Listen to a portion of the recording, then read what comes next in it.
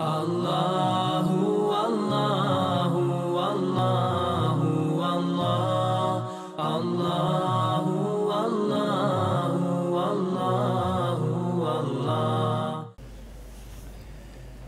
إن الحمد لله تعالى نحمده ونستعينه ونستغفره ونستهديه ونعوذ به من شرور أنفسنا ومن سيئات أعمالنا. من يهده الله تعالى فهو المهتد ومن يضلل فأولئك هم الخاسرون. واشهد ان لا اله الا الله وحده لا شريك له واشهد ان محمدا عبده ونبيه ورسوله وصفيه من خلقه وخليله ثم اما بعد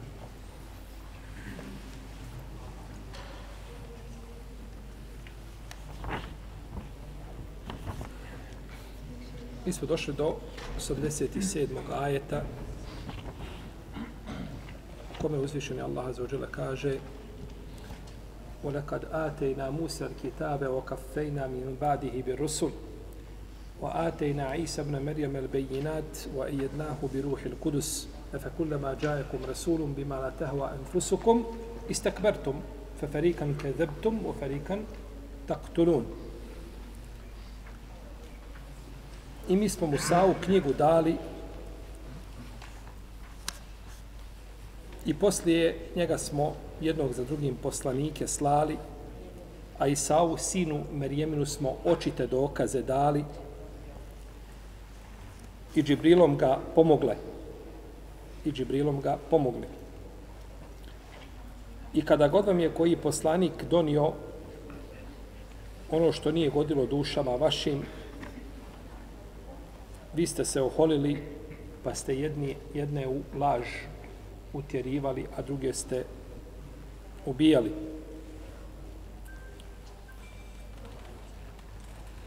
U ovom ajetu uzvišeni Allah azzawajal opisuje stanje Benu Israila. Njegovu, njegovu milost prema njima s jedne strane i njihovu pod navodnim znacima zahvalnost s druge strane. Uzvišeni Allah azzawajale slao im poslanike, poslao im Musa alaih sallam s knjigom i nakon toga im slao poslanike, a oni su ih za uzvrat kao zahvalu ubijali. A prije toga ih u laž ugonili. Kada ti neko učine kakvo dobro od sunneta je da mu se revanširaš. Pa šta misliš onda kada ti stvoritelj pošalje poslanika? Kako bi tvoja, kakva bi tvoja zahvalnost trebala biti na toj blagodati? Međutim, rezultat je bio kod ovoga naroda ovakav kakav jeste. Ora kad atejna Musel kitab. I mi smo Musa'u dali knjigu. Mi smo Musa'u dali knjigu. Koju knjigu? Teurat. Zašto nije rečeno dali smo Musu Teurat? Dali smo Musa'u Tevrat. Budući da je riječ ovdje o Benu Israilu, njehovom poslaniku, bilo je ovaj a, bolje po nekakvim razmišljanjima da se kaže Tevrat. Međutim, rečena je knjiga. A ne može biti bolje nego onako kako je uzvišen Allah spomenuo. Drugačije ne može nikako biti bolje. Knjiga je ovdje spomenuta da ukaže na vrijednost objave i da je nije samo pogrdno odbacivati Tevrat. Oni su odbacili ovdje spominje šta? Tevrat. Ali se spominje knjiga. Pa kako je pogrdno odbaciti Tevrat, tako je pogrdno odbaciti šta? I, i Kur'an, koji ste isto tako odbacili. Jer ove su ovdje riječi upućene kome? Benu Israilu koji su živjeli u vrijeme poslanika, sallallahu sallam. Pa kako si, kako onu knjigu nisi smio odbaciti, kako je to pogrdno, tako isto i ovu knjigu. Misli se na Kur'an koja je bolja od njega. Pa je spomenuta knjiga, a nije spomenut Tevrat. Da se ukaže, znači, na pogrdu onoga što čine i razliku, jeli, koji su napravili u tom pogledu. Okafejna min badihi bi rusul. I mi smo nakon toga slali poslanike jedne za drugima. I Beno Israel je narod koji najviše poslanika imao. Ima rivajet od Ibn Abbas da je jedna mala skupina poslanika, e, njih sedam ili osam možda, da su bili ovaj, da nisu poslani Benu Israilu, a svi ostali su poslani Benu Israilu. Međutim, Ta predaja je podložna diskusiji, njena autentičnost. Uglavnom, oni su imali jako puno poslanika, više znači definitivno nego drugi, nego drugi narod. Ovdje se spominju poslanici. O kafejna min badihi bir rusul. Rusul, množina riječi rasul. Poslanici. Islamski učenjaci imaju različite stavove kada je u pitanju razlika između poslanika i vjerovjesnika. I uglavnom se tu razilaze na tri kod njih poznata mišljenja. A to je prvo da su oni jedno. Poslanik i vjerovjesnik, to su dvije, dva sinonima sa, ne znam, e, istim značenjima. To su dvije riječi koje nose ista značenja. Nema razlike među njima. I to mišljenje nije jako.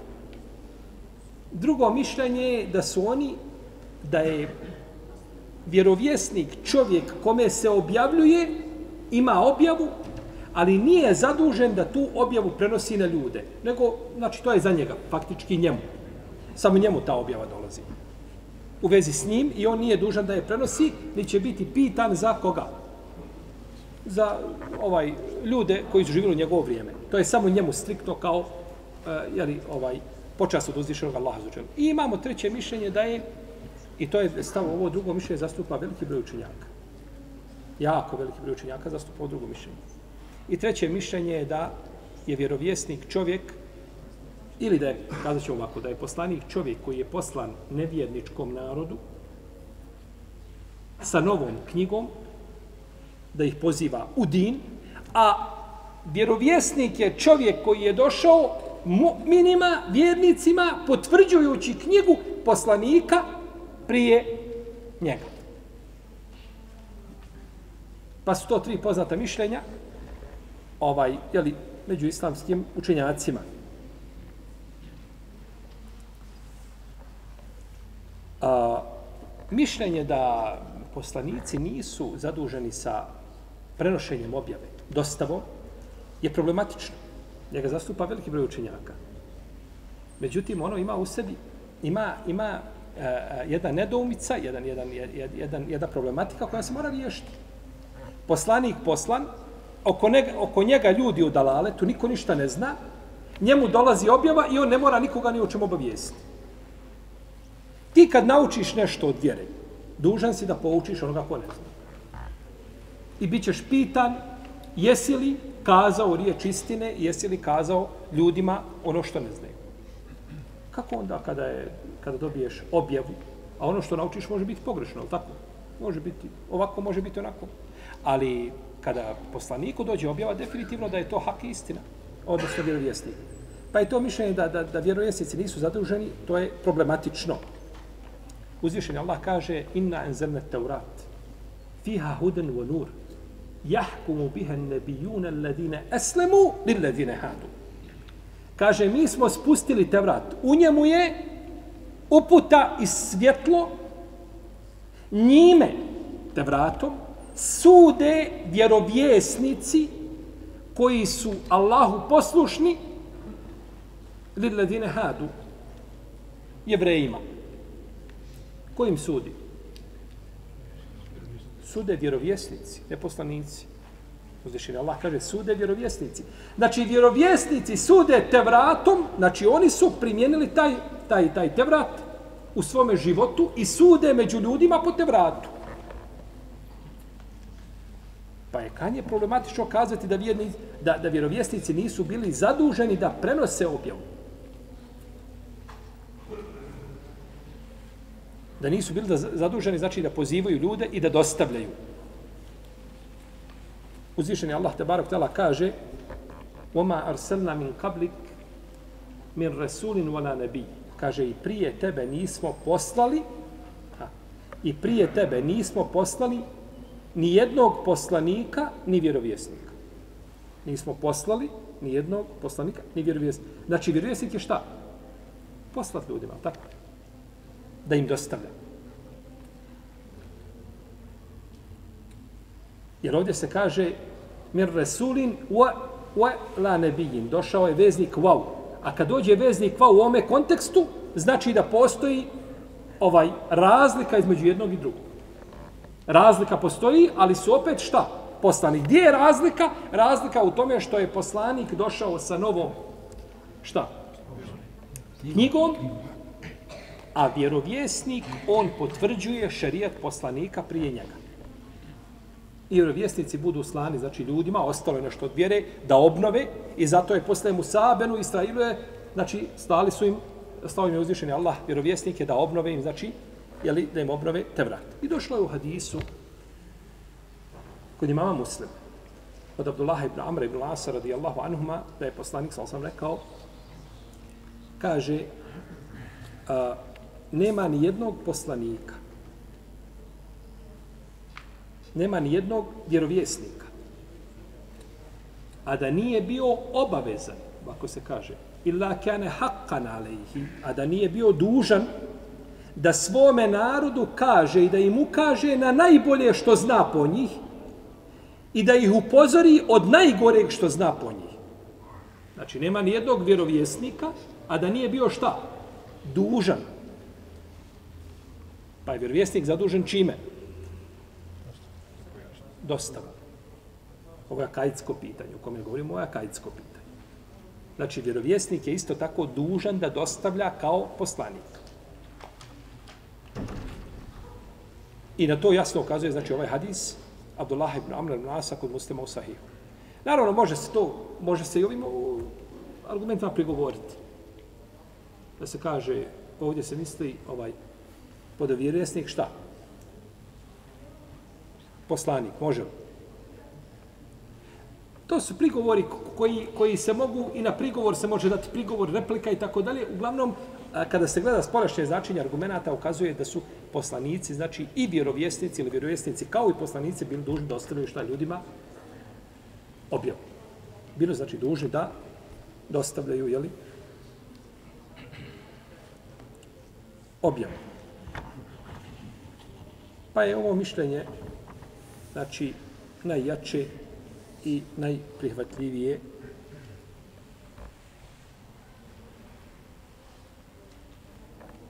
da su oni zaduženi da pozivaju i da dostavljaju. Da pozivaju i da dostavljaju. Neki učenjaci kažu da su učenjaci u našem umetu poput vjerovjesnika Benu Israila. I u tom kontekstu spominje hadis da je poslanik, sam sam rekao, ulemau ummeti ke embija i beni Israil. Ulema u mome umetu je kao a,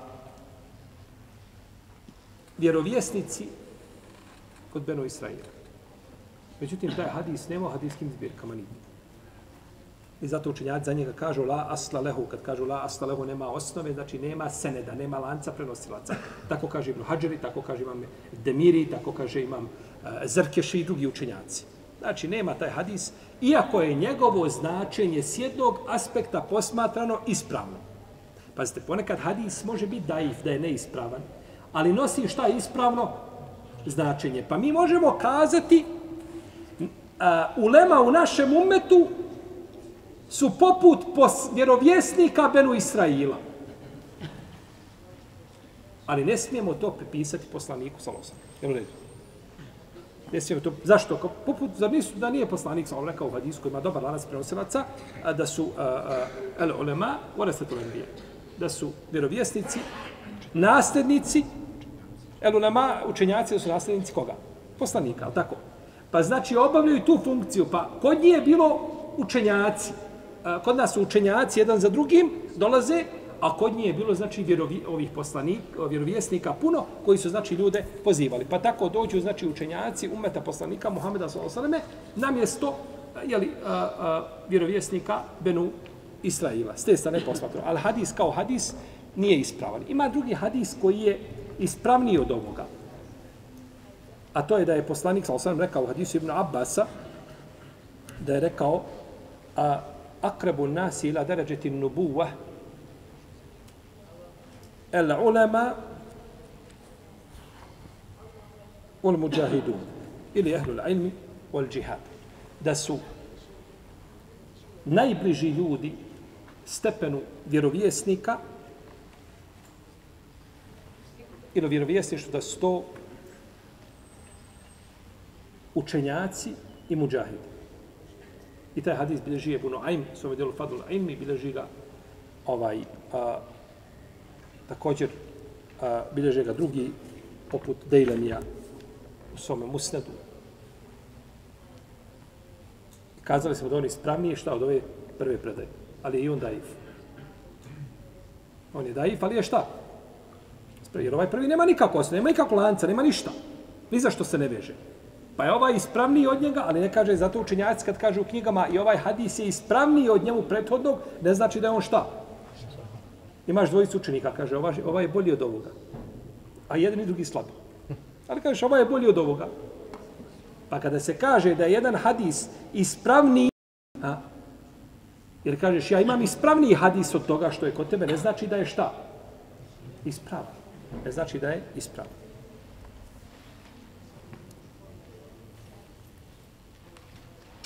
Dobro.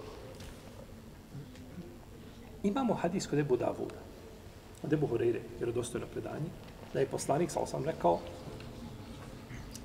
Inna Allahe jeba'athu li hadil umme ala ra'si kulli nijeti am men juđedidu laha dinaha. Kaže, Allah šalje ovome ummetu svakih stotinu godina ko će, ko će obnoviti njihovu vjeru. Obnovitelj vjere. A kod Beno Israila su to bili ko? Vjerovjesnici. Oni su tu funkciju imali. Kod nas je svaki stotinu godina Allah pošalje nekoga ko će obnoviti ljudima njihovu vjeru. Obnoviti misli se da oživi ono što su ljudi umrtvili od vjere. A ne misli se obnova sa nekakvim novim propisima, to je svakako istručeno. Pa su obnovitelji prisutni, e sada oko toga ko je obnovitelj, je li ovaj obnovitelj ili nije obnovitelj, oko toga se učenjaci mogu razilaziti. Ali ima definitivno za neke učenjake koji su govorili, kaže ovo je obnovitelj u svome stoljeću. Pa su kazali za mnoge od njih, je li, a našto sledbenici, tako mezheba, kažu za svoga imama da je šta? Obnovitelj. I nema sumnje da je svako od njih obnovitelj na jedan način, a obnovite ne mora biti znači kompletno po pitanjima vjere, može jedan segment vjere da oživi, pa možda je čovjek posebno učen u fiku, pa obnovi fik, drugi je u hadisu, treći u siri, četiri, četvrti u tefsiru i tako dalje. Uglavnom, ovaj uzvišeni Allah šalje uvijek ljude koji će tako da argument je uvijek uspostavljen protiv ljudi da ne mogu kazati šta nismo, nismo znali.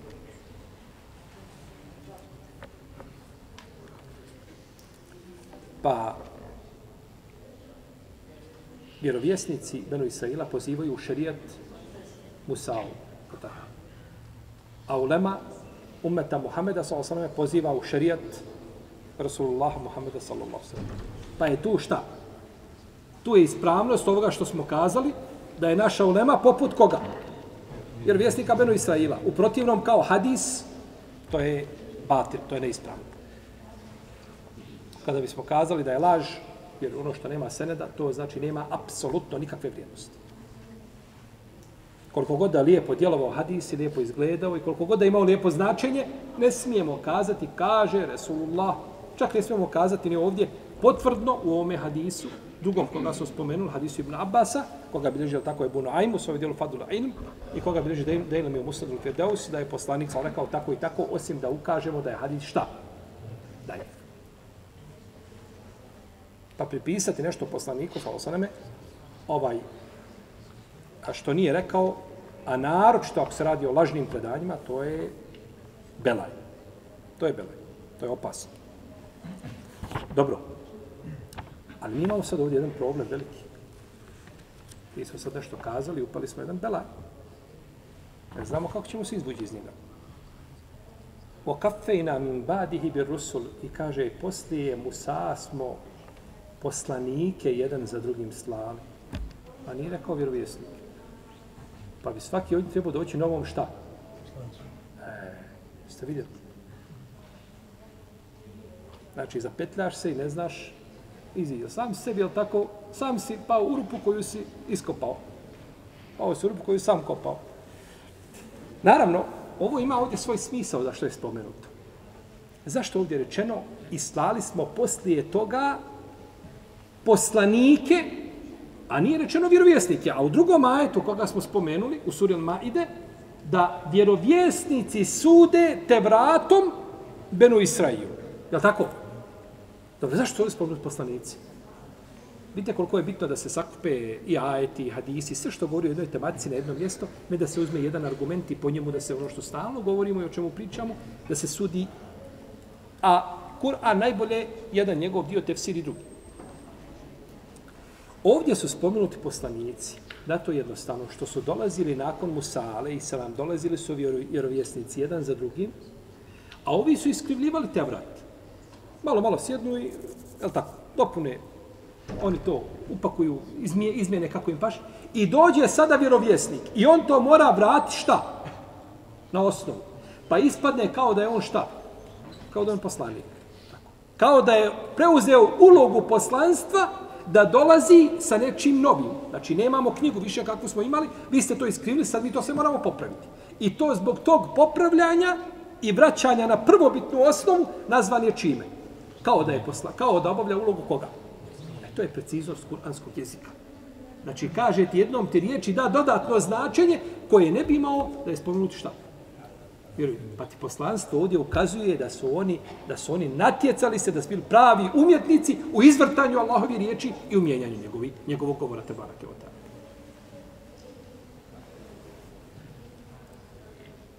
Pa je zbog toga spomenuto, znači da su dolezili, tako, jer kaže se da bilo je da dođu, kaže, pošalje im uzvišenje Allah poslanika ujutro, oni ga ujutru ubije, ubiju, ne, ne omrknu, a došao već drugi vjer, vjerovjesnika. Jel?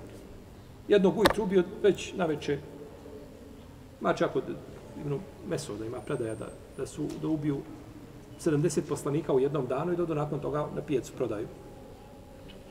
Trguju. Međutim, to su riječi ashaba, je li to potvrđeno, nije potvrđeno, to je drugo, je li, uglavnom to je ono što se navodi u tefsirima.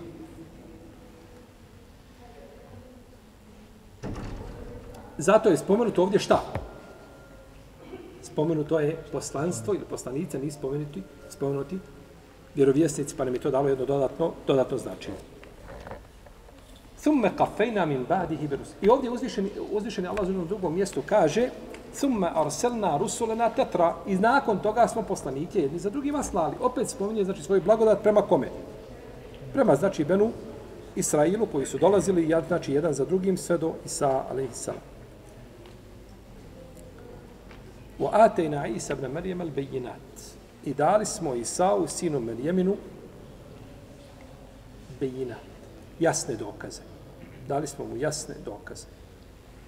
Ovdje su spomenuti jasni dokazi zato što oni ne prihvataju ništa što ne bi bilo ovaj upečatljivo kod njih. Nego mora biti jasno, čvrsto i opet nećemo prihvatiti ništa, muđize koje su nekakvoj nižoj deređi, iako je muđiza na nižoj deređi, nećemo to prihvatiti. Mora biti nešto. Pa je uzvišen Allah ovdje rekao i dali smo Isau čvrste, jasne, jake, materijalne dokaze, znači da ih vidi i to možete pročitati u suri Al-Maide koji su bili u suri Ali Imran. Uzvišen je Allah, a za tako šta je dao Isau Ali Salam od dokaza, pa to pročitajte na 56. strani i pročitajte to na 120 i a, 600 i 127. strani. Znači šta je dobio od šta? Od dokaza. Pa mu je uzvišeni Allah dao dokaze čvrste, nakon koji znači nisu imali nikakvog argumenta da poreknu ono čime je dolazio tako. Međutim, ophođenje Benu Israila prema njihovim vjerovjesnicima ne bismo pogriješili kada, je, kada bismo rekli da je isto kao ophođenje Iblisa prema Ademu. Isti način. Dok dođe poslanik, oni već imaju, oni imaju već spreman odgovor. Imaju već plan kako ga se kotarisati.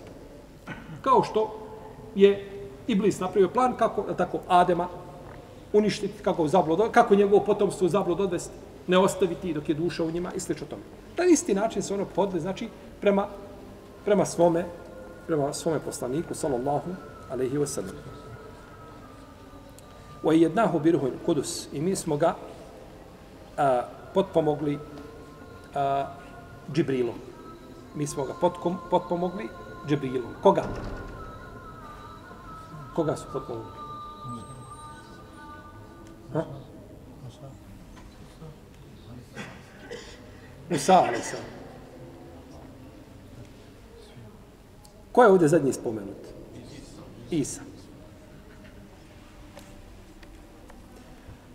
Isa je spomenut zadnji. Znači, kada se nešto spomene zadnje u arapskom jeziku, onda a, št, a, zamjenica koja dolazi nakon toga se odnosi na zadnje spomenuto. Osim ako ima dokaz da nije ciljan taj, mora ima, znači, vanjski dokaz da nije ciljan taj koji je zadnji, znači, spomenut. Fakulne mađajekom rasulun bima la tehva enfusukum. A, I kada god vam je došao poslanik onim što nije godilo dušama vašim, istakbertum, vi ste se oholili. Vi ste se oholili.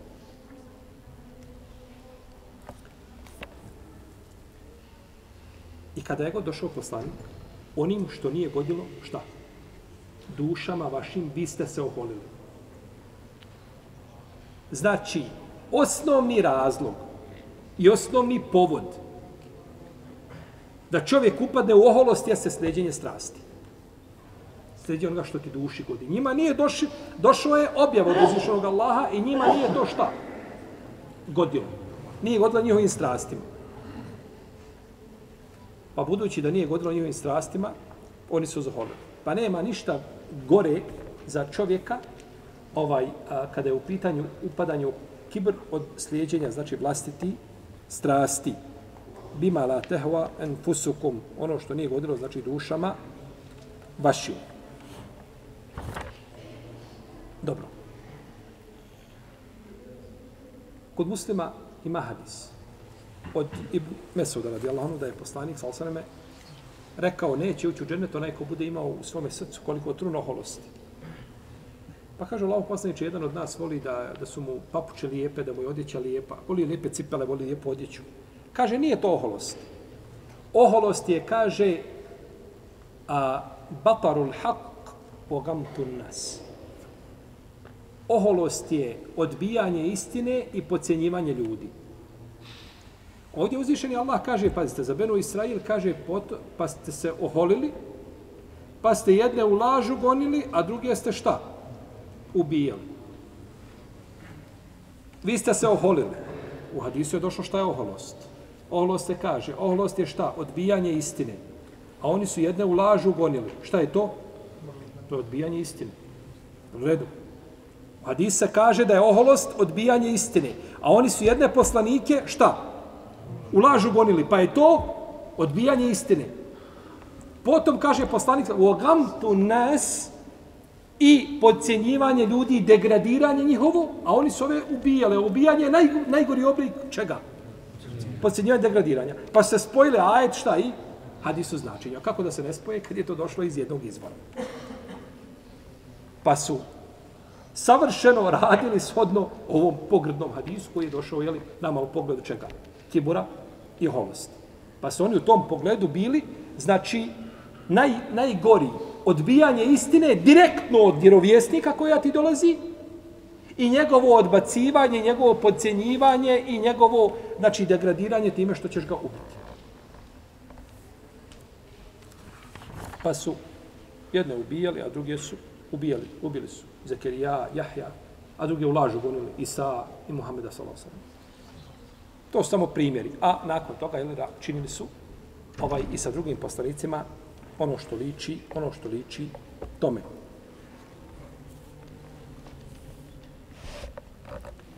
Ovdje je spomenuto bimala tehva enfusukum, ono što nije bimala tehva heva.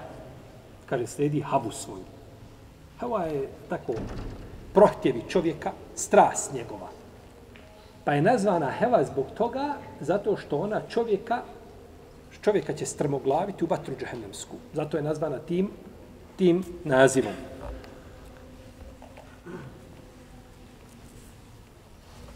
I stoga je, znači, sljeđenje have je nešto što može biti naj, najpogrdnije. Međutim, ponekad hava, riječ heva, se može koristiti u pozitivnom.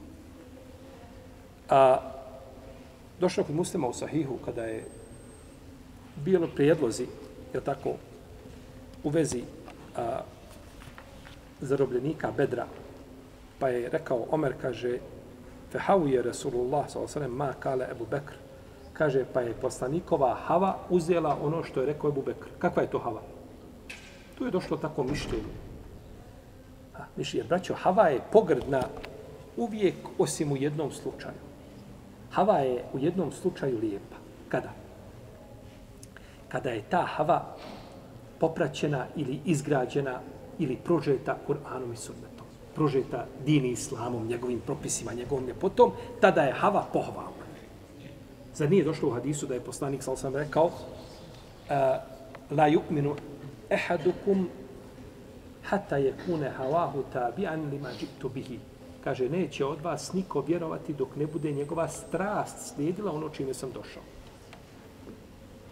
Ovaj hadis kaže, ne ovi da je sahih. Neki učinjaci su ga odbacili, šeha Albani ga odbacio. Ali je njegovo značenje šta? Ispravno. Dok ne bude strast čovjekova je ona tvoja nutrina koju niko ne vidi dok ne bude slijedila šta? Sunet tada ćeš biti pravi šta? Vjernik, definitivno. Kažemo, pored toga što ima neki učinjaka, ovaj koji su, mislim, Ahmed Šakir, a, veliki hadis, Ebu Špal, veliki hadis ovoga vremena je prihvatio taj hadis, i uh, drugi neki učenjaci. Uglavnom, a, jeli, to je u značenju hadisa. I došlo je u hadisu Ajše kod muslima u Sahihu, kaže, Wallahi ma ara rabbeke ila yusariu fi hawak. Kaže Ajša, poslaniku, sa osrame, kaže, tako mi Allaha, kaže, Allahu poslanič, kaže, ne vidim, kaže, nego da Allah, kaže, žuri da udovolji tvojoj havi. Da udovolji tebi. Kako da mu ne udovolji kad je on poslanik i neće poželjeti nešto što je neispravno, što je e, pogrešno i tako dalje, pa uzvišeni Allah mu udovoljava. Pa je hava pohvalna kada je u skladu čime? Sa Kur'anom i sa surom. Ali to samo hava, tvoja korist, tebi je korist u kamatnom kreditu, i tebi je korist u prevari nekoga, nekoga i obmani, i tebi je korist u, u, u ovaj nekakvom zabranjenom trgovanju i tako dalje, nije to. To je heva koja je prožeta hevom. Strast, ništa drugo. Strast, je tako, prožeta nekakvom ličnom korišću i slično tome, nego strast koja slijedi, znači kitab i sunnet, i ona ne stremi nego čemu? Nego ispravno. U protivnom se uglavnom riječ hava koristi za šta? Za pogrb. Za pogrb. U kalu kulubu na golf. Kažu, naša su srca okorjela. Bel la'nehum Allahu bi kufrihim. Fa kalilom ma yu'minun. Ne, nikako. Već ih je Allah prokleo zbog njihovog nevjerstva. Pa malo vjeruju. Pa malo vjeruju. Ko je ovo rekao a, ove riječi, Kalukulu, o kalukulu na golf. Naša su srca okorjela. Ko je to rekao? Beno Israel. Kažu naša srca okorila. Isto govore što govore i mušici meke što su govorili poslaniku, znači kad su kazali, kulubuna fi ekinneti mimate dohuna ilaih. Kaže, naša, kažu, naša su srca, kaže, a, pod pokrivačima, u pogledu onoga čemu nas pozivaš. Isto, govor jedan. Izbora, ali tako? i izbora koji neće istinu. Pa kažu, naš, znači, oponašaju riječi oni koji su bili samo na drugi način kazali isto, isto šta značenje. Kulubuna golf. Neki kažu učenjaci, ovo znači naša srca korela su zapečaćena, neki kažu da su, e, e, da su to srca koja su e, ovaj prekrivena. Međutim, ima tefsir ovoga koji spomnio Ibnu Abasa da kaže naša su srca puna znanja, Pa ne trebamo to čime je došao Muhammed. Mi imamo i previše znanja i nauke. Međutim, to, to, to značenje nije ispravno. Nije jako. Ne morate, pazite, kad kažemo nešto rekao Ibn Abbas, pa mi kažemo nije jako, ćemo kazati, oho, tako. Došao je Ibn Abbas naredio, tako.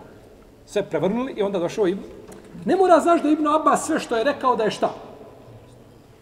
I znajte da je ovaj, da je jedan veliki dio kada bismo kazali trećina, pa Haman skoro i polovina, kada bismo rekli, možda ne bismo pogrešili ovako procena na kakva slobodna, tefsira Ibn Abbas, što se pripisuje Ibn Abbas, nije vjerodostojno od njega.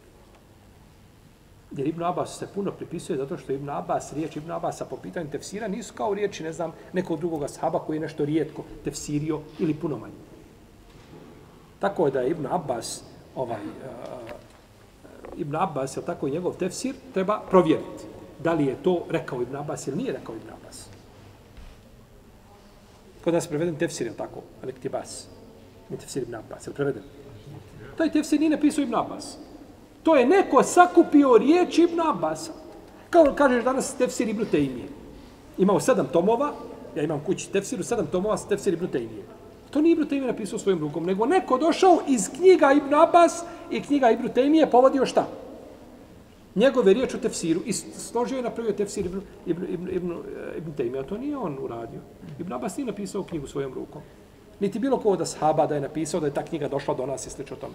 To je nešto što je pisao Abdullah ibn Amr ibn As i slično tome, rijetki ashabi, to je, to, toga nema. Naj, naj, možda naj, najbliže što nam došlo je od, od, od eh, sahifa, od Ibn Munebbiha. Uh, eh, ona je došla, ima u sebi ovaj, uh, brojne hadise, većina hadisa koji su u Buhari, u Muslimi, jednog od njih dvojice i, i on je to direktno uzimao od, od, od Ebu Horeire, te hadise. To je možda najstarije što je došlo. Protiv nema ashaba da imaju knjinici tabina, vrijeme za bilježenja, tada su ljudi pamtili počelo se bilježiti kada se više nije moglo pamtiti, je tako?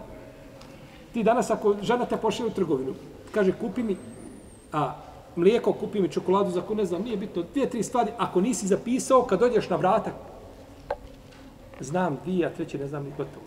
Otišao. To nije tako bilo kod Selefa. Oni su pamtili, nisu imali potrebe da pišu. Ali kada je pojavila se potreba, onda se šta? Jer oni su znali da ćemo mi doći. Zato su nama pisali Rahimehumullahu ta'ala. Dobro. Pa je tefsir ispravan da su njihova srca okorila. Ne mo, hoće kazati Muhammede, džabati, ne može mi to. To što pričaš, ništa toga ne. Mi to ne možemo prihvatiti. Naša srca takva kako jesu, ostaje nas na miru. Pa uzvišeni Allah i ulažu tjeruje i kaže ovdje Bella nikako. Bel ovo u arapskom jeziku je promjena smjera u govoru. Nikako to što pričate, nego vas je Allah prokleo zbog vašeg nevjerovanja. Pa uzvišeni Allah tamo njih. Jel? Jer uzvišeni Allah ponekad čovjeka prokune i zapečati mu srce zbog, zbog veličine njegovog nevjerovanja nakon toga kad mu dođe jasna istina, on je gotov. Jer je sam uzročio da mu srce bude šta? Da mu srce bude zapečećeno. Potom je uzvišeni Allah rekao da ne vjeruju zato što su prokleti. Zato što su, zato što su, jeli, prokleti. Pa je uzvišeni Allah Azeođele ovdje, on je prema njima se obhodio pravedno, sve svoje pravde. Kad mi govorimo kako uzvišeni Allah ljude obračunava po dobroti, a ne po pravdi, hvala Allahu što nas obračunava po pravdi. E ovo je obračunavanje po čemu? Po pravdi.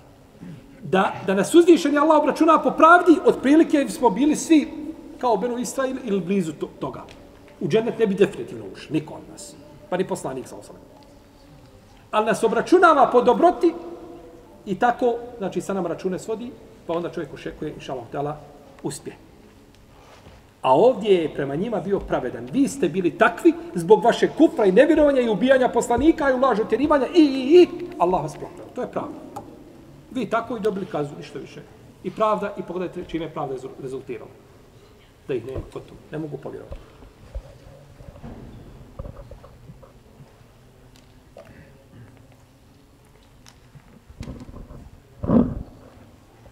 Pa je Allahova dobrota, znači, velika, je li prema ljudima. Neće da slušaju. Ibn Sad je zabilježio u svom dijelu Tabakatul Kubra. I zabilježio Ibn Sakir u svojoj povijesti. I zabilježio imam Ibn Abdel Bar u svom dijelu El Stijab. I ovu predaju spominju i drugi u svojim knjigama, poput Lasbehani u svom dijelu Delailu Nubuva i drugi, da je Tufel ibn Amr Edeusi došao u Meku. Kada je došao u Meku, kazali su mušici, dođi vam. Deusija, dođi vam. Da te odmah upozorimo, ima ovdje jedan među nama, govori, priča, opasan, poziva nečemu, nemoj slučajno da, slušaj, dobro, pazi. Kad se upecaš, on je tako slatko riječiv, on je, kaže, tako su mi napričali da sam ja uzeo, onaj, ovaj, u uši stavio, ovaj, uzeo, fate šta je već uzeo, i stavio uši, ovaj, da ne čuje. Allah kaže, neću, neću ni blizu njega. Kaže, pa sam jedan dan došao, kaže, Mohamed stoji nešto priča. Kaže, ali ja čujem. Kroz ono ja čujem što se govori. Ma kaže, pa dobro, što smeta da ja čujem šta on priča? Hajde čujem. Kaže, pa sam izvedio vatu pa i bacio je. Pa sam došao, kaže, čujem, kaže, priča, govori, govori. Pa kaže, ja sam, a on je bio najbolji pjesnik u svome narodu. Pa kaže, ja sam pjesnik, ja znam šta je pjesništvo. Ja znam šta je pjesništvo, to nema, nema to ništa sa pjesništvom. To je, to je jedan drugi step, jedan drugi svijet. Nikako nema veze sa, sa... Kaže, pa sam nakon, kada je završio, kaže, pratio ga do kuće i ušao sa njim u kuću. Kaže, Mohamede, slušaj. Kaže, ja sam čuo to što kaže, reci mi, kakva je to vjera, šta je? Ispričaj. Pa ga je poslanik rekao mu ispričao, pa je primio islam odmah tu. Kaže, ja odo nazad mome narodu i pozivaću ih. Pa ga je poslanik poučio sa šta, šta će govoriti, šta će ih pozivati, kako će ih, jeli, da bude daja. Pazite, daja dolazi narodu, naučio je osnove islama i dolazi i poziva ljude. Kada je došao, oni su njega čekali kad on prilazi. Kaže, Allah mi dao, kaže, svjetlo, kaže, na, na, na, na licu.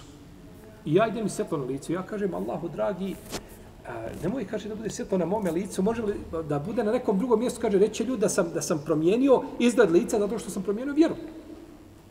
Pa je, kaže, taj nur prešao, kaže, na moj turban. Pa kad sam, kaže, došao svome narodu, ovako sam danas čitao ovu predaju kod Ibn Abdelbera u, u, onome, u njegovom djelu stjavu. Kaže, kad sam došao u ovome narod, prilazi prvo babo, kaže, babo, stani. Nisi moj, nisam tvoj. Kaže, sine, šta je to? Kaže, ja sam promijenio vjeru, kaže, ja sam vjere Muhammedove i ja i ti nemamo ništa. Pa kaže, sine, ja nisam nego tvoje vjere. I primi babu islam. Prilazi žena, a ljudi ga čekali svi da dođe, jednostavno, jeli, doček. Dolazi mu žena, kaže, a, e, ehleno sehlen, kaže, zaustavi se, kaže, nisi mi halal i nisam ti halal. Nisi moja, kaže, to je završeno. Pa šta je problem? Kaže, ja sam, kaže, vjere Muhammedove. Kaže, pa ja nisam nego tvoje vjere. I primi islam. I tako je pozivao ljude i, i bio u Somed. Čak jedne prilike došao poslaniku, vratio se u Meku, kaže, Allahov poslanič kaže, neće, kaže da, neće Deus, kaže ovaj, dovi, kaže, protiv Allaha, kaže da ju uništi. Pa je poslanik sad digao ruke i kaže, Allahume ihdi Deusen uakti bihim. Kaže, Allahu dragi, ovaj hadis došao kod muslima u sahihu. Samo ovaj dio, ne priča cijela. Priča je došla kod Ibn Sakira u njegovoj povijesti, kod, je tako, kod Asbehanija i kod ovaj, Ibn Abdelbera i kod drugih i kod Ibn Sada u Tabakatul Kubra. Pa je dobio, kaže Allahu, dragi, uputi Deus. Pa je veliki broj Deusija primio islam. Pa je nakon toga učinio on hijđru, ali nakon Bedra i nakon Uhuda i nakon dosta toga što ga je prošlo sa poslanikom, sam učinio hijđru gdje? U, u Medinu. Pa je bio daja i pozivao ih. Govorio im, znači, o vjeru. I mnogi od njih su se, znači, popravili, pokajali i, i prišli Ali pogledajte ovdje kada je došao, kaže, ne, nemoj šta. Začepi uši ništa. Pa neće čovjek haki, neće, neće da čuje istinu. A on je bio razlogom, eto Fel ibn Amr, el Deus je bio razlogom da, da, da, da Deus i mnogi iz Deusa da prime islam zbog njega. Prvo njegova porodica, pa nakon, jer on je bio cijenjen, ugledan u svome, u svome plemenu. I zato kada uglednik u jednom plemenu primi islam, kod nje je bilo gotovo i oni drugi koji su ispod toga i oni su Eh, ovaj je li eh, eh, već u, u prihvatili je li ono na čemu je. Za razliku od Benu Israila. Kaže, oni su htjeli jedno, ali Allah htio drugo. Allah htio da ja dođem blizu Muhammeda, sallallahu i da čujem šta on, šta on govori. Pa su, ljudska srca su takva. Ako mu otvoriš, ako si iskren i otvoriš svoje srce ka istini, ta će istina dojde do tebe. Samo budi iskren.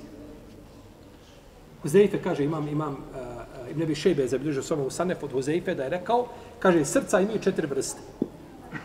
Pa je spomenuo srce munafika, pa je spomenuo srce kjafira, nevjernika, kaže, koje ima oko sebe, uh, ima omot. Omotano, jednostavno, ovaj gulf koji je ovdje, znači, koji je ovdje spomenut. I imate ono srce mu'mina koje ima u sebi kaže, svjetiljku, svjetli, imate, kaže, srce koje u sebi ima malo nifaka, malo imana. Pa koje prevlada, on je takav. To je srce velikog šta? Griješnika. Čovjek može u sebi imati tako nešto od onoga i nifaka koji je vezan za, za njegova dijela za rad, znači da ne bude, jeli, da ga ne izvedi to van okvira, jeli, din islam. Pa je srce, kažu u kulubu na gulf, naša srca su šta? Okorila. Čovjek mora voditi računa o svome srcu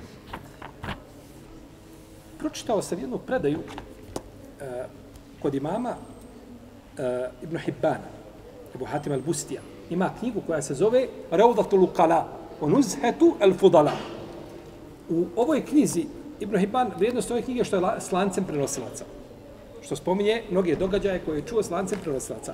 Pa između ostalog ovdje je spomenuo, na 29. strani je spomenuo predaju sa lancem prenosilaca od Halida Ribeja, kaže, kaže, bio je Lukman, kaže, Lukman je bio čovjek Habešija, crn, kaže, i služio je, kaže, kod jednog čovjeka. Pa mu je rekao, kaže, haj mi, kaže, zakolji ovcu i donesi, kaže, donesi mi od ovce dvije, najljepša dva organa za jesti iz ovce mi izvadi. Što je najljepše za jesti. Pa je otišao i donio mu srce i donio mu jezik. Je li halal jesti srce i jezik ovce? Naravno da jeste. Pa je ovaj uzeo i dobro, ovaj se veliko očivao, ovaj bubreg nešto, jetra, ne znam, ovaj, plečka. Kaže, pa mu je donio i ovaj to pored. Drugi put mu kaže, idi, kaže, ponovo, kaže, pa mi, pa mi kaže, ovaj, ponovo mi kaže, za kolje ovcu i donesi mi, kaže, isto tako, kaže, a donesi mi, kaže, dvije najgore stvari za ovce. Hoću i to da probam. Pa je otišao, zaklao ovcu i donio mu srce i jezik. Ovaj se gleda, kaže, pa dobro, prvi put sam donio srce i jezik, i drugi put mi donosiš srce i jezik. Kaže, srce i jezik, ako su dobri, kaže, to su dva najbolja organa. A kaže, kada su loši, to su dva najgora organa. Nema gori od I to je, nema sumnje da je to, iako je to predanje od Lukmana koji je prenosio od Halida Ribija, ja, međutim, ovaj, u značenju je ispravno definitivno. Jer, jer je a, jezik ti je ambasador srca. A jezik govori, ambasador govori u ime nekoga, je li tako? On govori, predstavlja nekoga. E tako tebe, tako jezik predstavlja. Ja ne znam šta je tvoje srce, ali znam, kažu učenjaci, da je jezik kutljača iz srca. Grabiš iz srca jezikom i vidiš šta je. Pa čovjek koji ima zdravo srce neće pričati nego lijepo. Nemoguće je da čovjek priča ružno, da vrijeđa ljude, da, da, da nasrće na njihovu čast, da ogovara, da potvara, da, i nakon toga da mu je srce zdravo. Nema ništa tog srca. To srce nije zdravo, ne može biti zdravo. Pa jezik govori, pa je zato lu, ovaj Lukman tako postupio. Rahimahullahu Teana.